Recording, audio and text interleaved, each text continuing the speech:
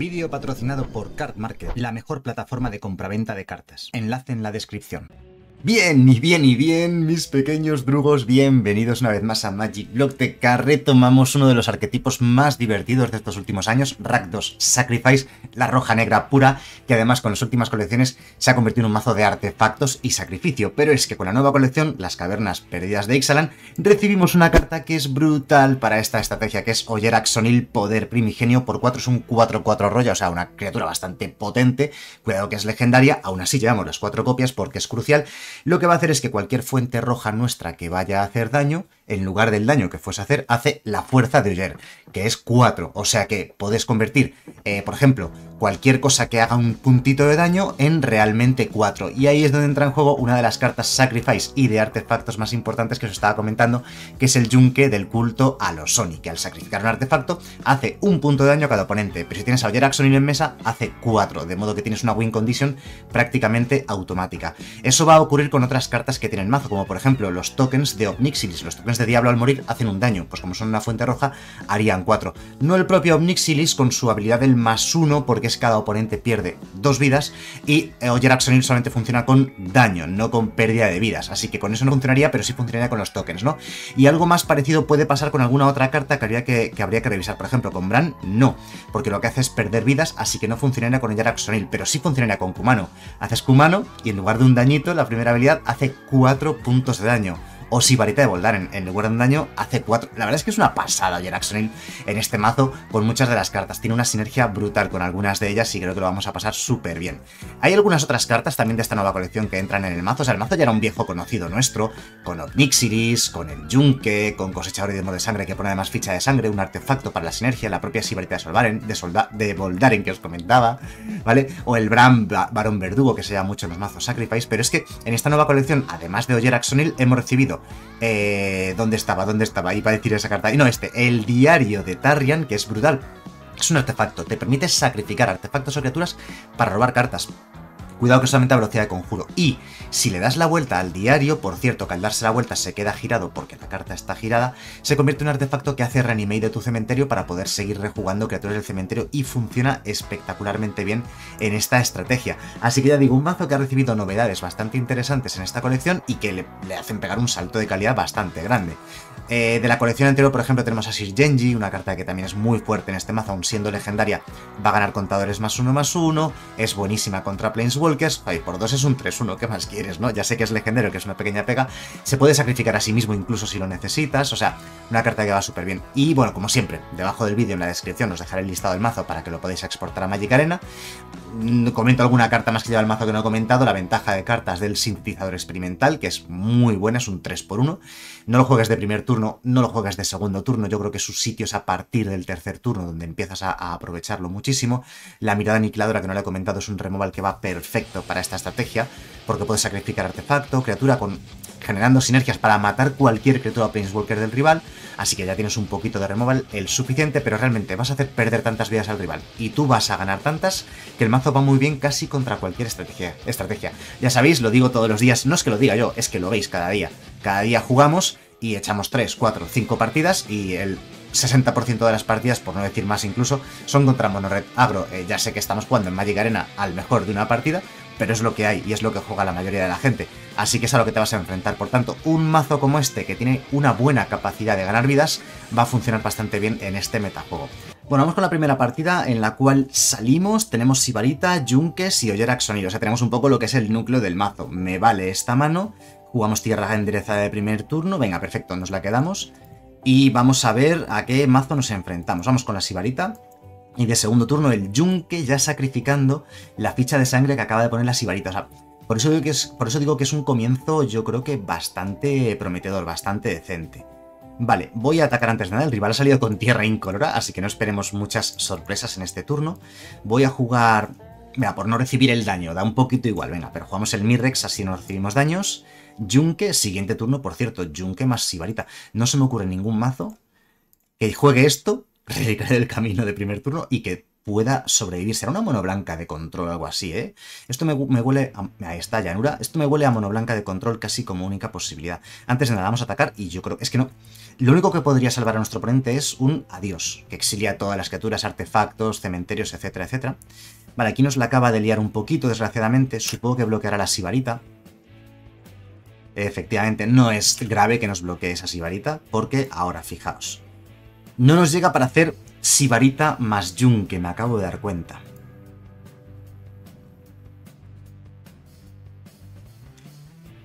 Vamos a hacer yunque para tener un segundo yunque, incluso aún así nos cuesta una vida. Y vamos a sacrificar el token que teníamos. Ahí está. Y el siguiente turno viene Oyeraxonil y ya vienen por duplicado los... Bueno, vienen, los daños van a ser por 4, ¿no? Y podríamos incluso sacrificar otro token más para hacer un dañito, pero me lo voy a conservar, ¿vale? Lo vamos a, lo vamos a guardar una de las criaturas, ¿vale? Porque ya no vamos a poner otra criatura que sustituya, solamente se pone una vez por turno criatura, y la habilidad la puedo utilizar para hacer un bloqueo y luego sacrificar, pero no vamos ni a bloquear, lógicamente, aquí me como dos de daño, no pasa nada. Vamos a ver si no juega tierra, no tiene ninguna posibilidad, lógicamente, si se queda atascado en dos tierras, pues no va a ningún lado. Vale, tercera tierra, sigue jugando. Y nos toca turno. Bien, entonces, en principio, ahora mismo con esto es prácticamente victoria, prácticamente. Supongo que tendrá algún tipo de anticriaturas o algo, incluso a velocidad instantáneo. Vamos a ver. Contra, no, contra hechizo no hay de ningún tipo en color mono blanco ahora mismo en estándar, claro. Nos va a romper uno de los yunkes, puede ser. Bueno, no pasa nada porque... Vale, ya se ha dado cuenta de lo que viene. Sacrificamos un token, esto hay que hacerlo al menos una vez por turno hace un punto de daño que son 4, y luego con el otro hacemos otro punto de daño para que sean otros 4. O sea, son 8 de daño, quiero decir, con dos Junkes y un. De hecho, voy a hacerlo en respuesta, ¿vale? Nos mata al Oyeraxonil en respuesta. Le voy a tirar otros 4 a la cara. Ponemos dos tokens, ¿vale? Uno con cada Yunque. Nos mata Oyeraxonil, que hipotéticamente podría volver al juego, ¿vale? Es un poquito complicado, hay que pagar 3, girar la tierra en la que se ha convertido ahora y solamente podemos activarlo si eh, mis fuentes rojas le han hecho 4 o más puntos de daño durante este combate. O sea, realmente quedándole 10 de vida, si le puedes hacer 4 puntos de daño al rival, es porque la partida tienes medio ganada. Nos ha puesto dos fichas de mapa, por cierto, que tampoco vamos a aprovechar demasiado. Eh, me da igual que me ataques de 2 en 2. Porque fijaos lo que le viene aquí. Qué pena no tener el Jackson. Bueno, espérate, espérate. ¿Nos llega el mana? Sí, claro. No, 2 y 2, 4. No nos llega el mana creo... A ver... Sí, si sacrifico los tokens... Voy a sacrificar... De hecho, no voy a sacrificar los tokens, voy a sacrificar las fichas de mapa que no tienen mucho uso en este mazo. Le hacemos perder una vida. Le hacemos perder dos. No nos llega el maná. No nos llega el maná.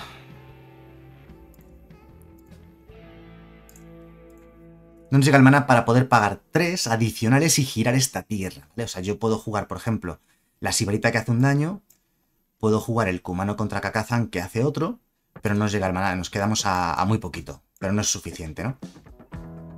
Vale, el rival tiene 4 de mana, podría ser que tirase ahora un removal masivo y matase todo lo que hay en mesa, pues por poder podría ser, ¿vale? Pero bueno, como le quedan 6 vidas y tenemos igualmente dos yunkes, y no tiene 6 de mana todavía para ese adiós, que posiblemente llegue porque es una mono white de control, me gusta mucho el mazo que está jugando el oponente, por cierto, me parece un mazo muy bueno. Da igual porque luego, al siguiente turno, tenemos los dos Junkers, como digo, jugaremos creativa con el cosechador y luego en un par de turnos entra el Kumano contra Kakazan con prisa. Así que las 6, 4, 2 vidas al final no van a ser suficientes.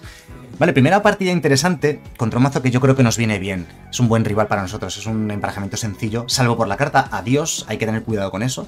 Salvo por la carta Adiós, tú le vas a hacer perder muchas vidas casi de forma inevitable. Anda, esta no me la esperaba y da vínculo vital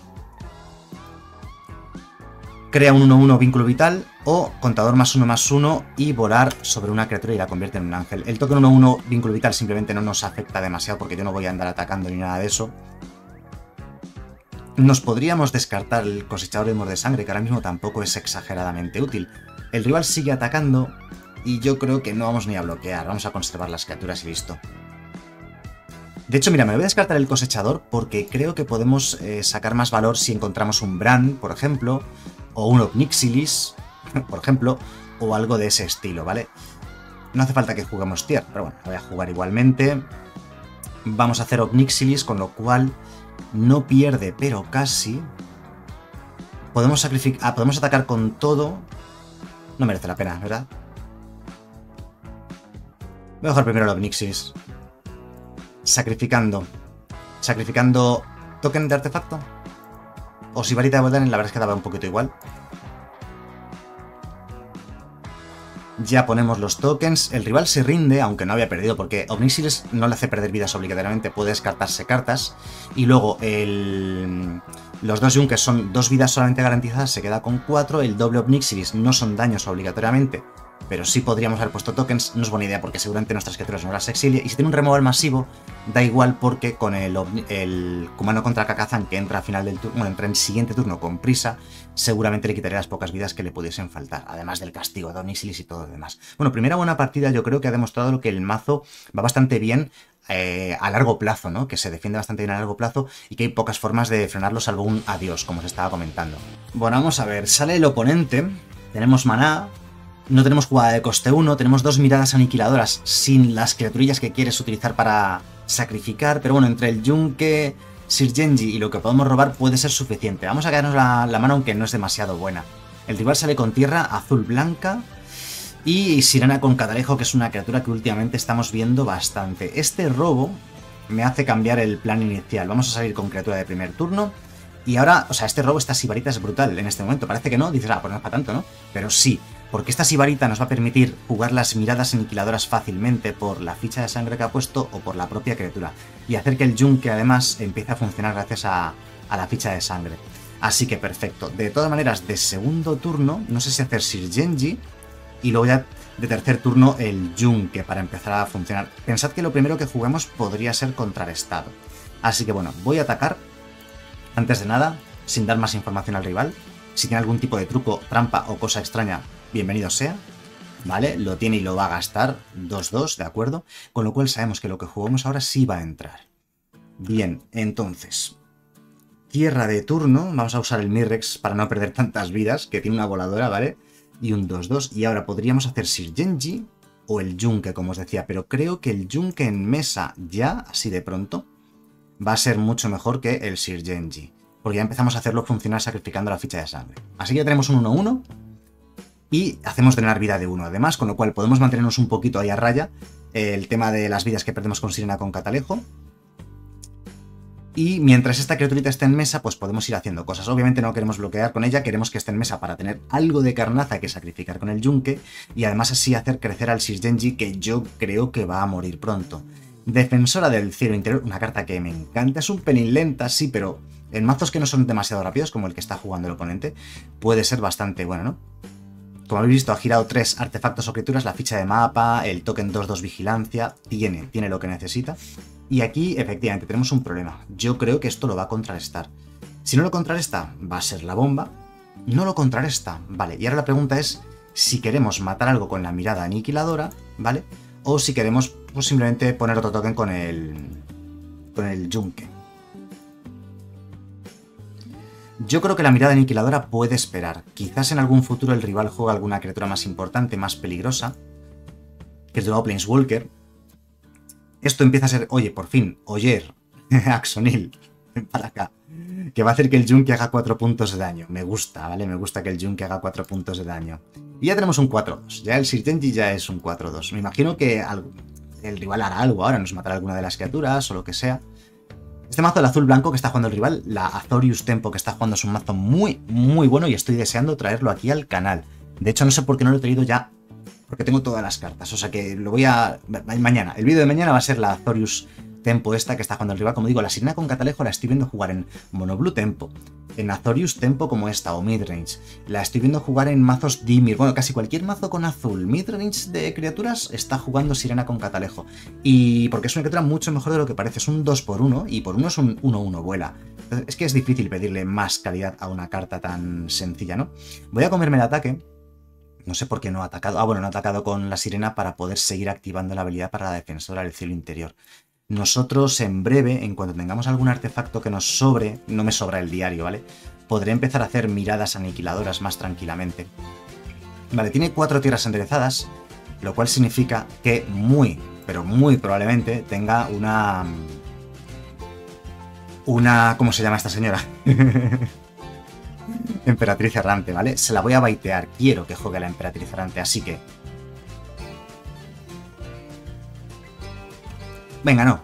Voy a jugar el Ojeraxon y si me lo contrarresta, me lo contrarresta. Es que he pensado que si ataco con esto y hace la Emperatriz errante y me exilia el token, luego no tendría ningún artefacto para sacrificar. No quiero sacrificar el Sir Genji. Si se gasta ahora el counter en esto, sabemos que no... Vale, no se ha gastado el counter en eso, así que podemos activar esta habilidad como queramos. Bien, yo diría que atacar en esta situación... Estamos un pelín bajitos de vidas, pero no está mal del todo. Voy a atacar con las dos, él va a hacer su...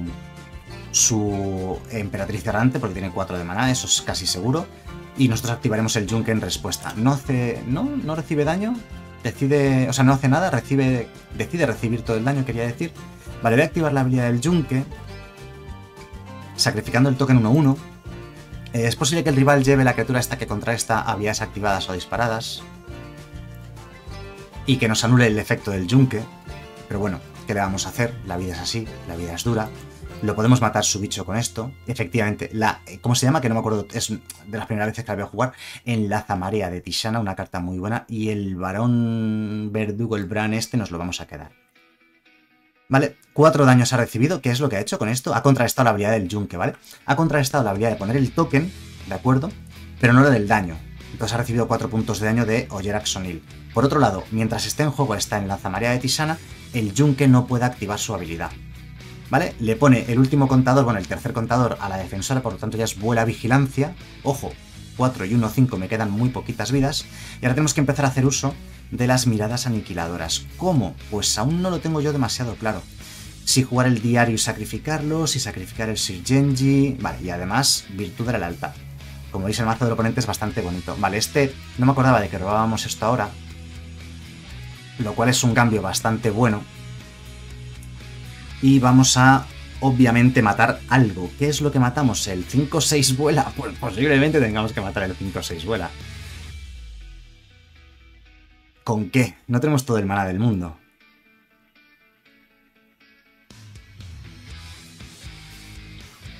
También podemos matar la enlazamarea, ¿de acuerdo? El problema es la cantidad de maná. Para poder hacer drenar vida de uno, pero es que tiene 5 y 2, 7 solamente con las voladoras. Nada, hay que matar, eh, desgraciadamente. Sin, muy a nuestro pesar, la defensora del cielo interior, sacrificando el Sir Genji. ¿Por qué sacrifico el Sir Genji? porque esto hace una vida de 2 y ya veremos si el siguiente turno usamos el propio Bran para ello. Y por cierto, no nos quedaba más mana disponible, ¿vale? Aquí nos quedamos con 9 de vida. Creo que el siguiente bicho que habría que matar es la María de Tishana para poder seguir activando la habilidad del Yunque. Y al menos con el 3-3 contra nuestro 4-4 pues no puede atacar. Vale, activa la habilidad del mapa y le sale tierra. Y es bueno Roba carta, vale, le da ventaja de cartas, pero es bueno porque al menos esto nos sube a 3-3, que serían 3 ataques para nuestra muerte. Bien, siguiente jugada. Demasiados diarios caca de estos que no sirven para nada. Así que jugamos uno de ellos. ¿Por qué no me ha girado la tierra incolora? Maldito Magic Arena, tendría que haberlo girado yo manualmente. Vale, vamos a matarla en la zamaria de Tishana, sacrificando el propio diario,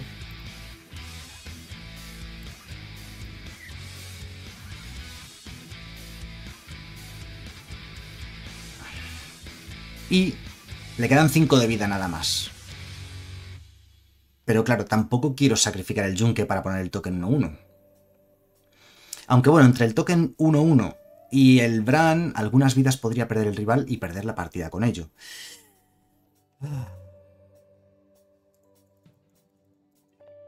Al final daba igual el mana, ¿vale? Este Mirex que no hemos girado manualmente podríamos poner el token 1-1, hacer tener vida de 1 y atacar con, con Oyer Axonil, de modo que forzaríamos el bloqueo de su de su 4-4. Ah, bueno, espérate, claro. Que son 4 daños gracias a Oyer Axonil, más el Bran. Claro, claro, claro. ¡No!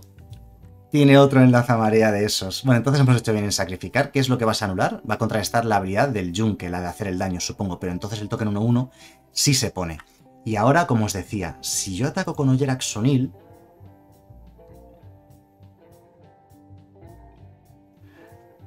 se quedaría a 3. Y luego en nuestro turno podríamos bloquear con el token 1-1. Se quedaría a 1. Creo que tenemos que esperar un turno más. Tenemos que esperar un turno más, además, porque tiene un atacante más, ¿no? Tiene el 3-2, madre mía, qué partida más complicada. Y tiene todavía otras dos cartas más en mano, que no se nos olvide, y el Mirrex, ¿vale? Que también pone un token 1-1 que no es irrelevante ahora que tiene tantísimo maná. Vale, partida súper complicada. Vale, el bloqueo es muy fácil de realizar, yo creo, porque bloqueamos aquí, hacemos drenar vida de 2, nos comemos 2 de la voladora, perdón, 3 de la voladora, a ver si tiene algún otro tipo de truco o sorpresa, y esto hace que cada turno sus criaturas sean más grandes, o sea que se nos está acabando el tiempo.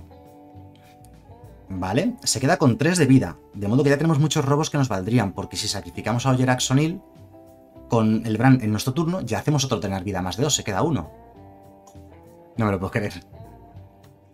Qué buena es la enlazamaría de Tisana y nos ha jugado 3 que nos han hecho muchísimo daño. Posiblemente, pues mira, si teníamos la partida ganada, ¿eh?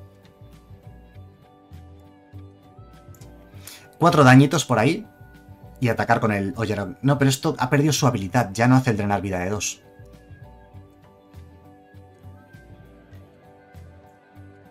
Ya no hacemos el drenar vida de 2. Con lo cual hemos perdido por eso, ¿verdad? Tenemos que... Nada, nada, más nos ha girado mal el maná. Nos ha girado mal el maná el juego, así que nos quedamos ahí tan cerquita.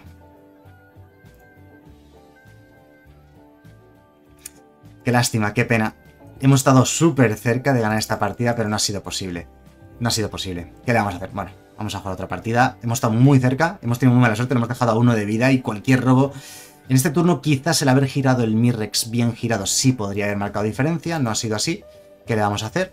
El rival ha bloqueado con una de las eh, enlazamareas de Tishana, pero... Eh, pero da igual, no cambia, no cambia nada. Así que nada, vamos a por la siguiente partida. Bueno, vamos a ver, sale el rival... Pero bueno, tenemos, tenemos buenas opciones, ¿no? De turno y de turno 2 al menos para comenzar la partida. Iremos jugando cosas y luego ya veremos si robamos ese Yunque y ese Jer Axonil que nos den el combillo del mazo. Así que vamos a por ello. El rival sale con tierra verde-blanca, con lo cual casi seguro que es un mazo de encantamientos y Scrap, que se puede llevar un mazo de encantamientos para proteger la estrategia porque yo que sé, juega cartas que, crecen y que, y que, con un Skrell pues puede proteger de modo que, el rival no puede interactuar con ellas de forma sencilla, ¿no? Así que, bueno. Vamos a ver si podemos matar pronto a este Skrell, ¿vale? Porque va a ser más molesto de lo que parece. Quizás con el cosechador de de sangre podríamos matarlo, así que podría ser la segunda jugada de la partida. Aunque, segunda tira verde blanca girada, creo que va a empezar con Sirjeji, que es legendario, tenemos dos, y ya me quito uno de en medio. Y vale, esto ya sí que nos garantiza que es un mazo de encantamientos en comunión con los espíritus y con esta tierra, bueno, con este conjuro se busca una tierra, pues sí. Iba a decir que a ver si suerte se busca una tierra. Creo que es bueno para nosotros. Él no va a bloquear, lógicamente, no, no debería, porque su criatura es muy valiosa y la nuestra no, no es muy valiosa. Y ahora la pregunta, si damos continuidad con Sir Genji, ¿eh? O el cosechador. El cosechador solamente serviría para matar a Skell. Vamos con Sir Genji. Mientras, es, o sea, es que él ya, ya, tiene, ya, no, ya no tiene mareo, por tanto ya lo que juegue ya lo puede proteger. No soñemos con intentar matar muchas cosas porque no, no sería una buena estrategia, yo creo. Esta carta es más a largo plazo, ¿vale? En los primeros turnos no, no vas a poder sacarle partidos para más adelante. Para darle fuelle al, al mazo cuando se queda ahí sin energía, que vuelva a revitalizarse. Vamos a ver qué es lo que juega. Tercera tierra, efectivamente, el bosque que ya sabíamos que había jugado antes. Y el Kami de la Transitoriedad, que es la criatura de su mazo, que crece y además le mete una osadía directamente. Wow, 5-3, vale. Aún así se muere contra un Sir Genji, así que todavía nos vale. Todavía podemos atacar con el Sir Genji y el rival no va a querer bloquear. Además que nos viene incluso bien, diría. Nos viene bien que el Sir Genji muera, muera, si, si es que muere, claro que no va a ocurrir. No va a bloquear y ya está. Porque además si bloquease luego podríamos matarle el Skrell, o si bloquea con Skrell podríamos luego matarle el Kami, así que no creo que eso vaya a ocurrir. La osadía es muy buena y funciona muy bien en este mazo porque si matamos al Kami, recupera la osadía, ¿vale? O sea, perdón, recupera, roba una carta con la osadía, que no es un...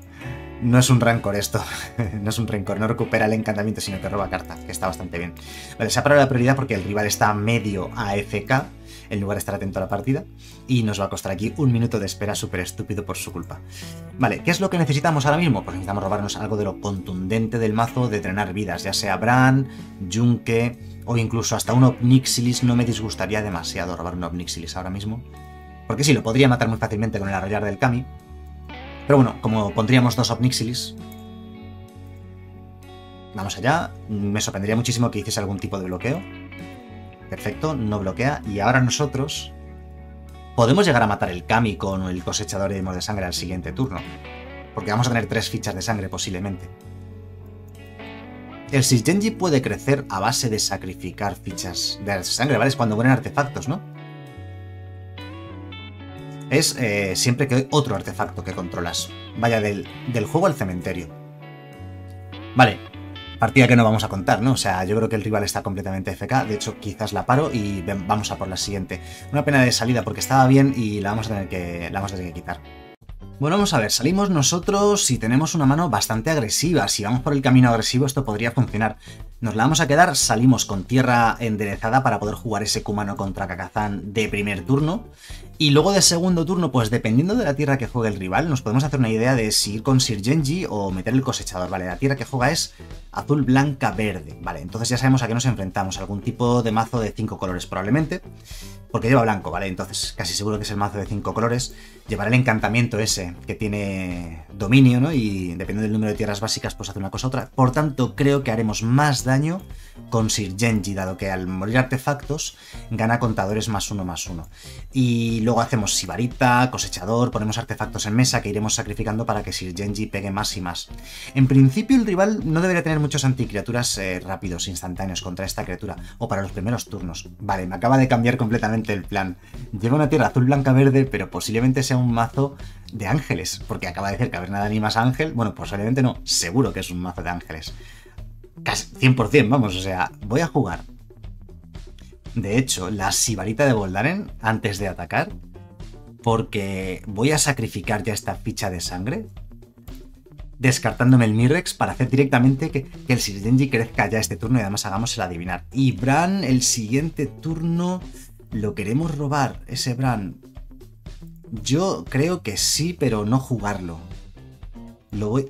No sé, venga, sí, no, al ser un mazo de ángeles seguramente no os interesa jugarlo, o sea, no va a ser un mazo de control. Es que me dan miedo los removals masivos, y ya no solamente los removals masivos que lleva el oponente, sino los que hacen exiliar.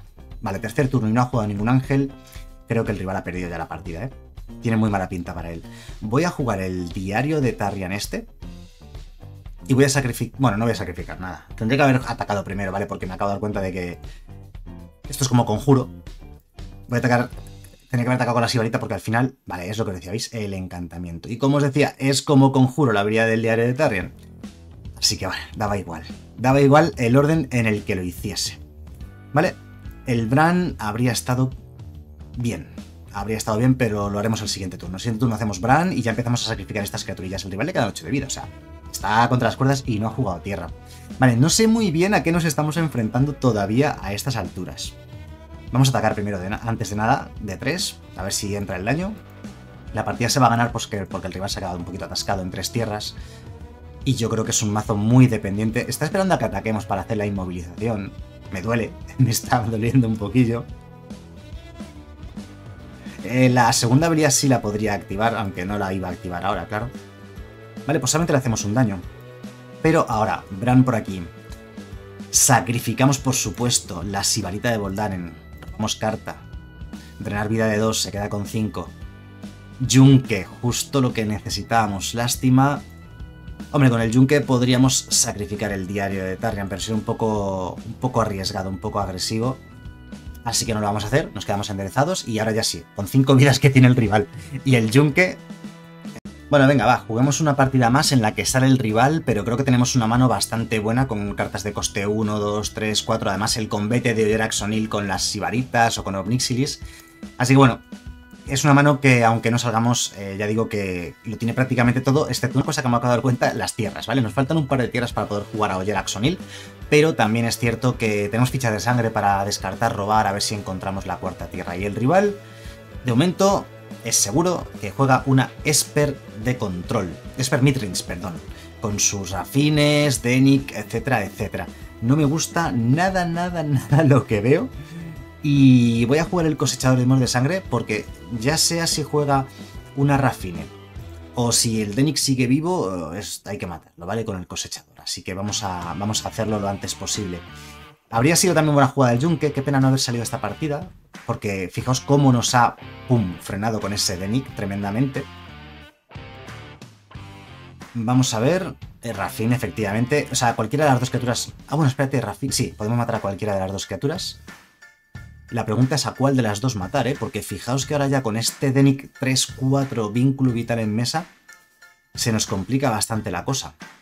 Vale, este robo más el cosechador nos garantiza que podemos matar las dos criaturas, lo cual me deja bastante... bastante tranquilo, ¿no? El problema es que no tenemos maná para hacer nada más. Creo que el, el Denix sí que habría que... Bueno, el de... es que esas cantidades... Bueno, Rafine, hay que matar a Rafine.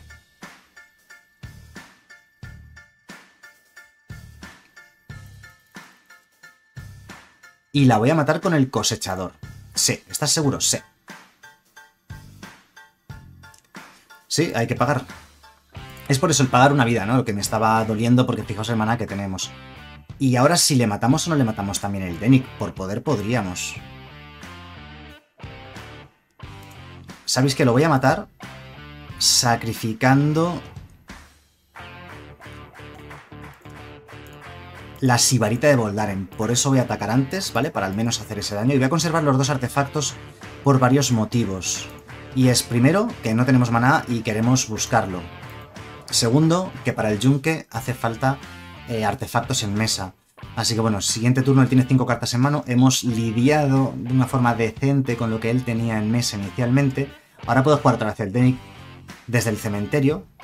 No lo juega, con lo cual eh, como que nos está indicando que algo bueno tiene, ¿verdad? Sí que, que tiene algún contrahechizo y no quiere girarse para hacer esto desde el cementerio. Así que nosotros vamos a hacer simplemente Sibarita de Voldaren, nada más. Un poquito cobardes. Poniendo otra ficha más de sangre. Y voy a darle turno. Voy a darle turno. No voy a hacer en este turno. No voy a sacrificar porque posiblemente fallemos. Vale, token 2-2.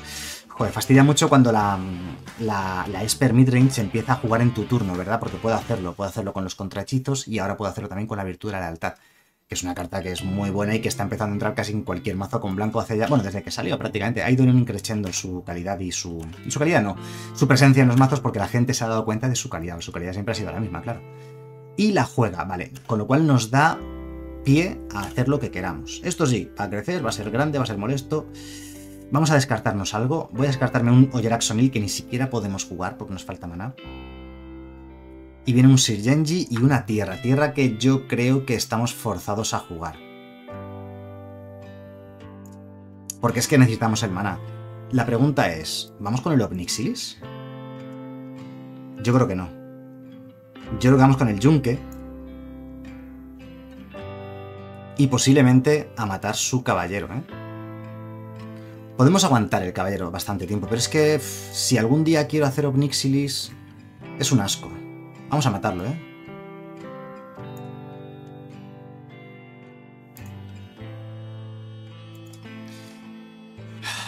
Con ficha de sangre. Y la pregunta es, ¿sacrifico la otra ficha de sangre por el drenar vida de uno o no? Yo creo que no. Porque además lo puedo hacer al final de su turno, lo puedo hacer cuando quiera. Así que no lo vamos a activar. O sea, lo de poner el token es solo en tu turno, ¿vale? Pero lo del drenar vida de uno es a velocidad instantáneo, lo puedes hacer en su turno y haces el drenar vida de uno, así que nos esperaremos a ver qué más hace, ¿no? ¿Vale? Juega anuncio de la boda, le quedan dos manás enderezados, está jugando con el counter, ¿vale? Abierto, eh, nos está dando la información claramente.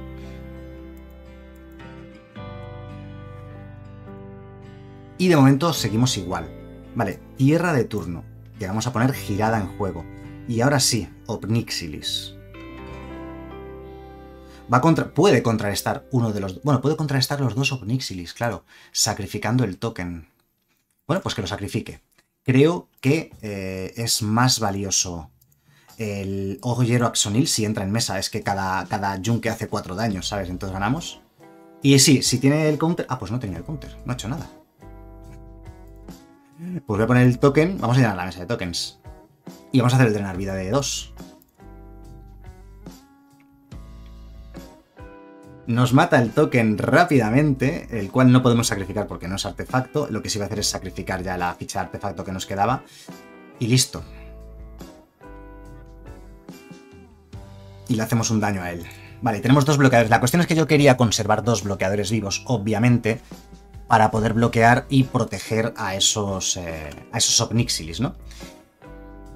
Porque con los dos Obnixilis en mesa y ahora ya el Oyeraxonil, adiós. Por cierto, Obnixilis no se dispara con el Oyeraxonil, ¿vale? Ataca con el token 2-2.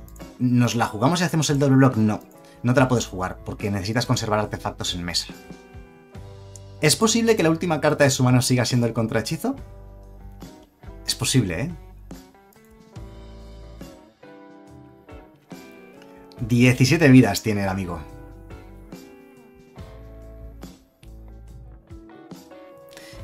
Sus criaturas se van a hacer más y más grandes cada vez. Grandes cada vez.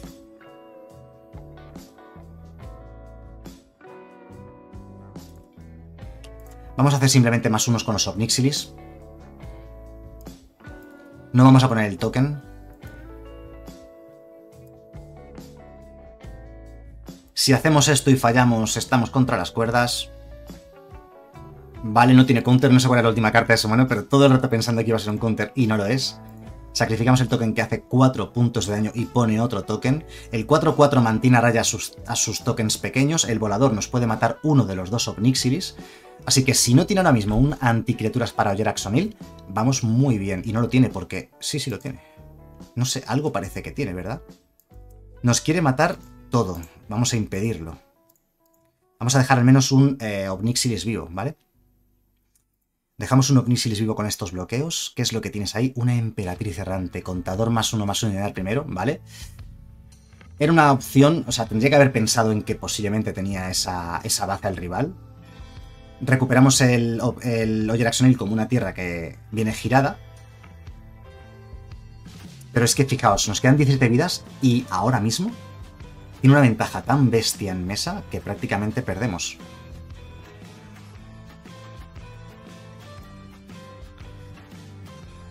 Y tiene todavía la emperatriz errante que le puede dar dos vidas en algún momento. Vale, vamos a hacer de una vida de dos sin más.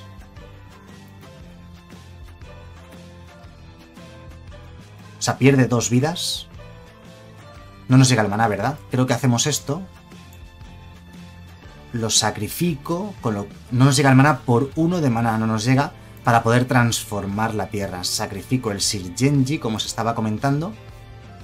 Adivinamos uno. Él investiga, por cierto, claro, no había caído en ello. No, no, no adivinamos uno solamente con otros artefactos. Y veis, le hacemos un daño con esto, pero no nos llega el mana para activar el Templo del Poder y recuperar a Sonil por uno. Se queda con 7 de vida, pero es que fijaos, nos quedan 18 y él pega 12, 15, 19. Es letal, de hecho, tenemos que bloquear con el token 1 y nos gana. Así que partida perdida. Bueno, joder, hemos estado bastante, bastante lejos, yo creo, realmente en esta partida. Estos mazos azules blancos.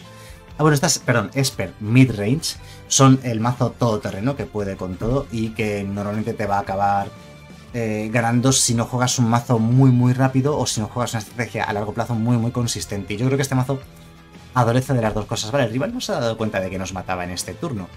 Así que bueno, da igual, me voy a rendir ya. Así que no vamos a darle más vueltas. Espero que el vídeo os haya gustado. Nos vemos en el siguiente. Hasta luego.